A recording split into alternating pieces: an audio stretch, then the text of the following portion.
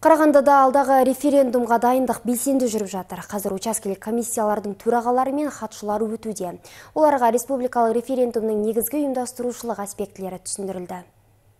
Оқыту Қазақстан Республикасы президентінің жанындағы мемлекеттік басқару академиясының облыстық филиалының базасында өтті. Семинарға барлығы 300-ден астам адам қатысты. Бұл 183 қалалық учаскелік комиссияның төрағалары мен хатшылары. Олар республикалық референдум кезінде іс-қимыл алгоритмдерімен танысты қаласында 183 учаскелік комиссия бар өз қызметін атқарады.